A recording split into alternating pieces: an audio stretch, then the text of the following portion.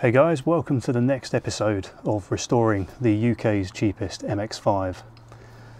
Today we're going to look at some driver aids, namely some parking sensors and a rear view camera. I'm going to get the back of the bumper, or the back bumper, off the car and I'm going to have a look at what packing's behind this, what structural support and where I can feasibly drill holes to put these in. So if you're not already, please think about giving a subscribe to the channel. I do really appreciate the support this gets. Stay tuned.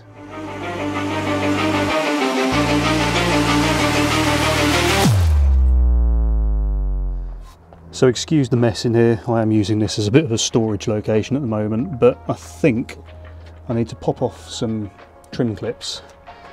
And then in the rear arches, it looks like there's two bolts that need to come off. If I can get the camera to focus on those, there you go. Um, and I dare say there's probably going to be some underneath the bumper as well. So let's let's start taking it off and see where we end up.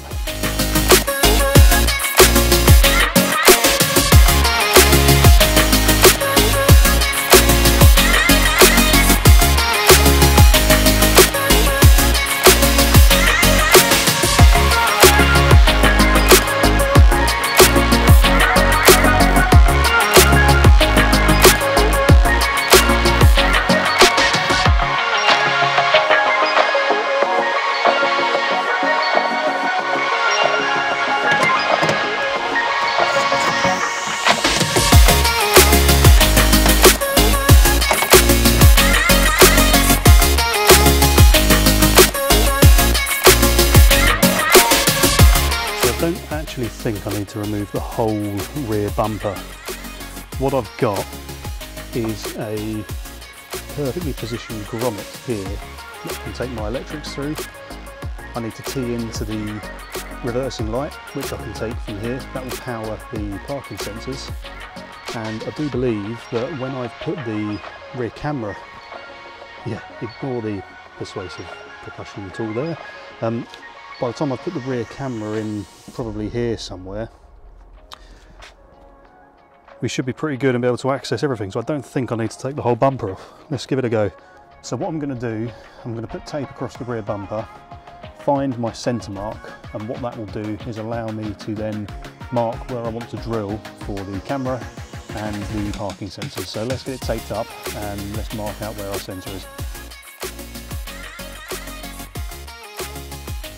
So what I've done is I've set up my laser level that I would typically use for DIY and I've shone it onto the bumper, you can just about see it there and I've used the centre of the Mazda logo as a reference point. It's not helped by the fact that the number plate uh, I think is a little bit off centre because of the GB marking over here but that gives me bang on dead centre that I can then measure out from. Let's do it.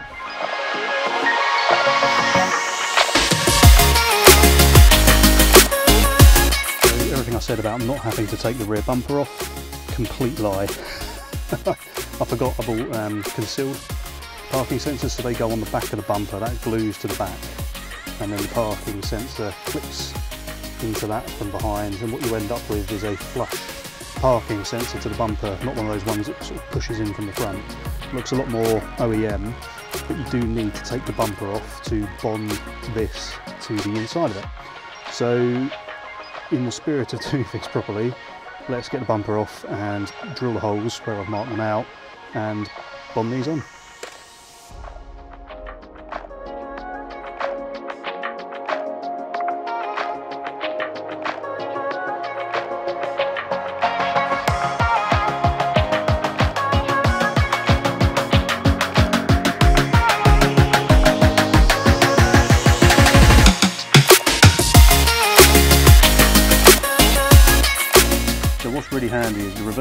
Sensors and the camera came with their own drill bits so you know you're getting exactly the right size. Point of no return I guess.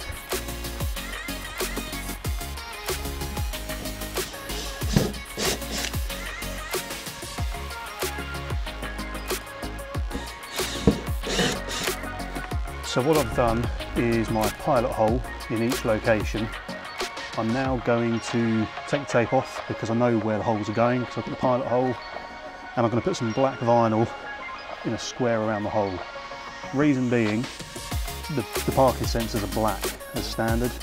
You can paint them and I don't have any sunlight silver paint so I'm going to mount them all in but with that vinyl around the hole that I've drilled through I know is perfectly the size of the hole I can come back and paint those when they're on the car and the bumper's back on saving a bit of time. So let's whip the tape off, get the vinyl on and then start bonding the parking sensors around the back.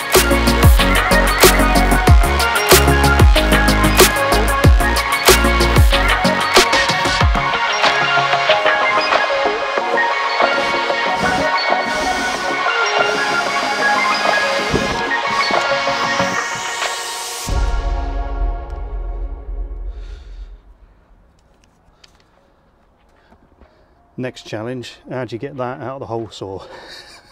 Let's get a screwdriver.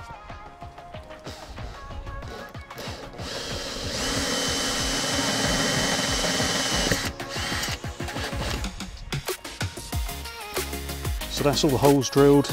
It's gone on nicely, the vinyl's done exactly what I wanted it to do. So let's flip the bumper over and start bonding these, um, these parking sensors into the back of the bumper.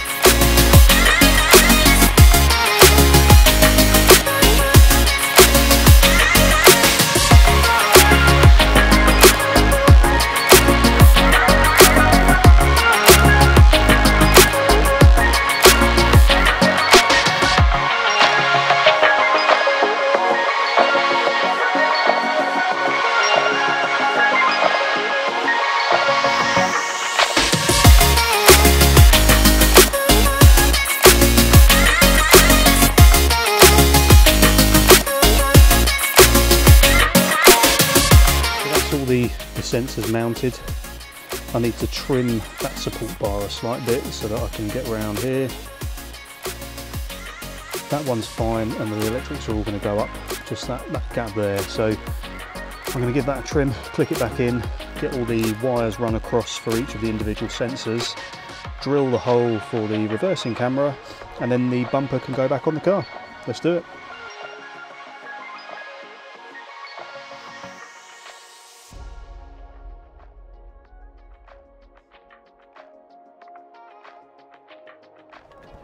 So what I've done is I've taped the connectors. There's no need to, they're, they're waterproof, but you know, belt and braces. I've then strapped the cables to the support bars so they're not rattling around. They're not bow tight, there is some slack so there's not pressure on the connectors. And then I've taken them all up to where they're going to come through the car. Let's get the camera hole drilled.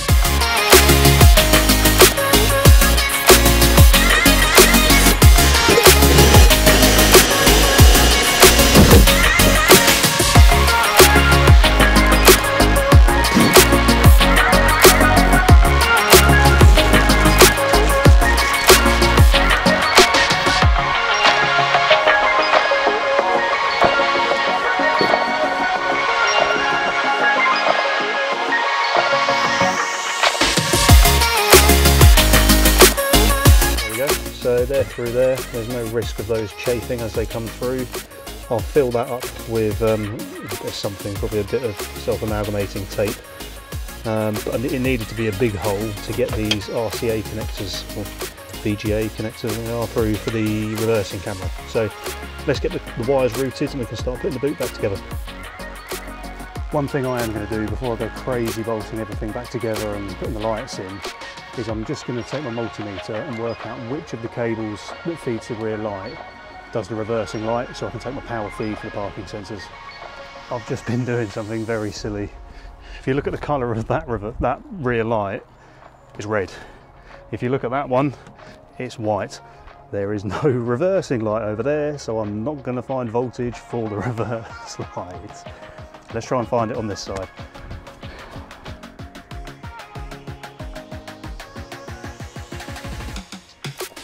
So that red and yellow cable has 12 volts at it. I'm just going to take the car out reverse, turn the ignition off and make sure it reads zero. The ignition off so that we know it's not a constant live. Perfect. So that red and yellow is the cable we want to use to power the parking sensors.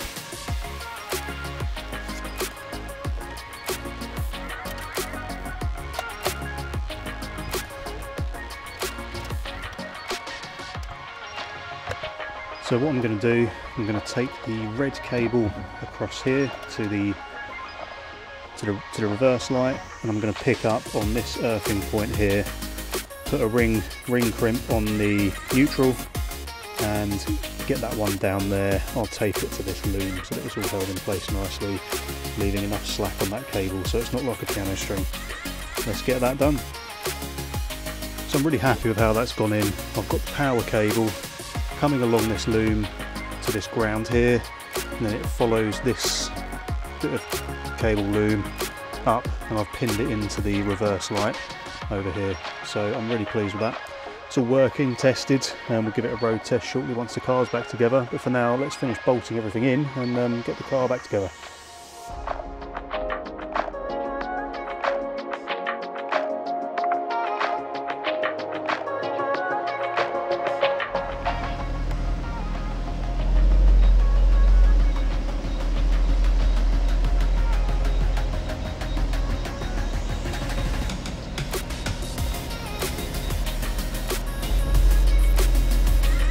take that. That's good. And that's where it stopped us. Enough room to walk behind the car. I think that's a safe distance. I'm pleased with how that's gone.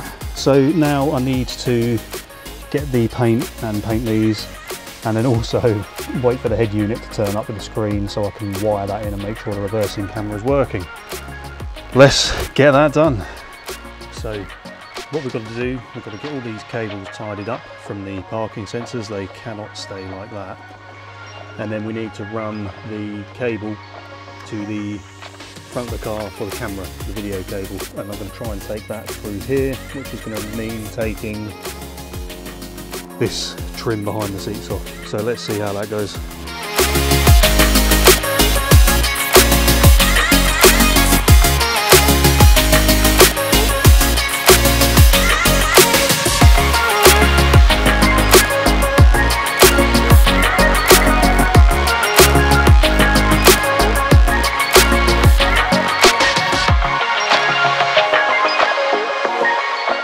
That's the cables all loomed up and tidied away back there.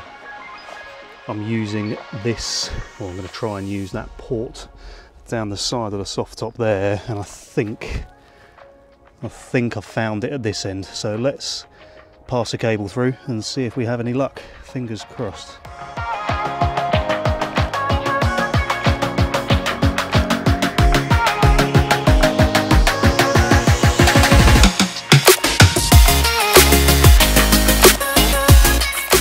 Result. I thought that was going to be a lot more of a pain than it was. So that's everything wired in, in the boot. I'm going to get all of these panels, the you know, trim around the boot, back in and then move up to the front of the car. Let's get it done.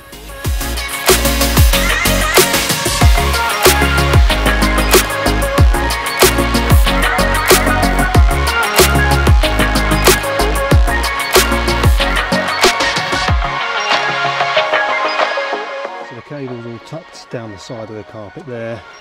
I've taken this bit of trim out in the footwell and we now need to run the cable over to the head unit for when the new head unit arrives to get that plug, where is it? Get that plug into the back of the head unit. So we've got to take it across the dash and get this back together, get the trim back on down here. Something I've wanted to do since I got the car is give these a clean. They're not retracting properly, they're staying stuck out. So I'm going to give them a clean and see if that helps anything, or if needs be, I'll have to replace the seatbelt. Let's see how we go.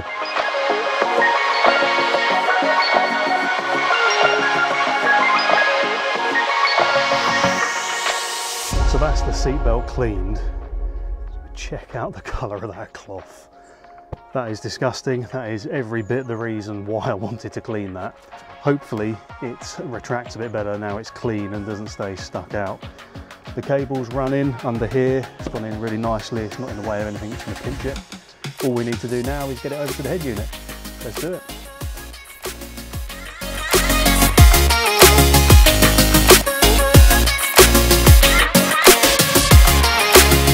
So things got drastic.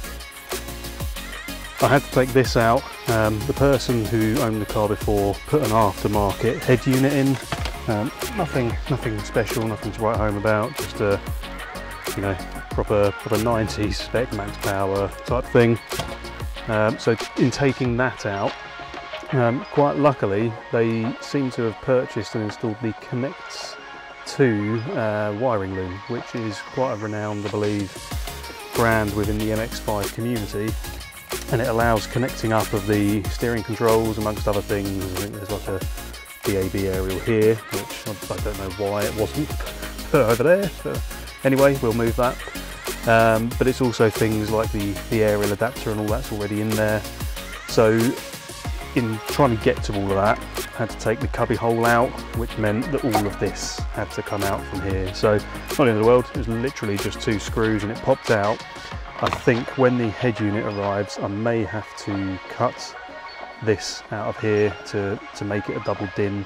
I don't know how it's going to fit, so I'm not going to cut anything yet. I'm going to wait for the head unit to arrive and then I will see what we're doing there. So it's a new day. The car's had a couple of deliveries. I've had a haircut. Let's try and get this stuff finished up. So we've had the double din unit turn up. And as I mentioned a bit earlier, I think we're very fortunate that the previous person's put this Connects2 CarPlay kit in. So I'm gonna spend a bit of time tidying up this bird's nest of a wiring situation. And then I think we will we will then have a look at getting the double din unit in. I think the problem I'm going to have is I might need to order a replacement surround for the dials. It looks like I don't necessarily have the points to mount up. So I want to get it in, I want to get it working, prove that everything I've done back there with the camera works, make sure everything connects through properly. Once it's in and working, we'll have a look at what we're doing with the fascia.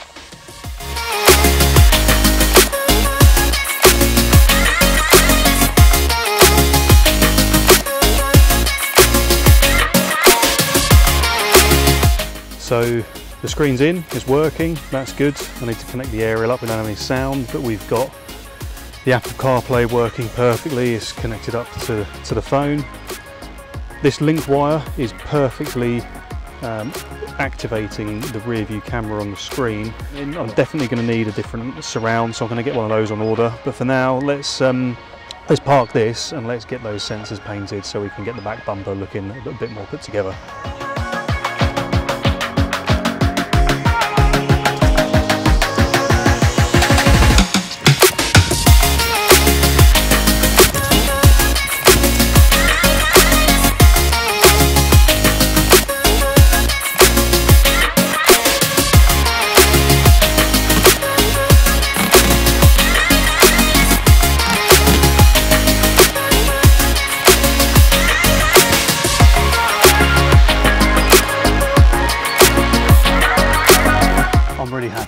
Gone in. I think they look really smart. They look almost OEM by the fact that they're recessed behind the bumper rather than being stuck in on top of it. And I think they complement the reversing camera really well. So job well done, I think. We've done it. We've got the camera working, but as you can see, it's a little bit sideways. So let's jump around the back of the car and see if we can get that camera pointing around the right way.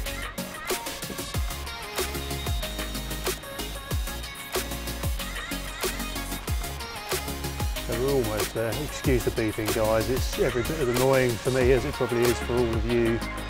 Um, it's the parking sensors that someone thought would be a good idea to fit to this car.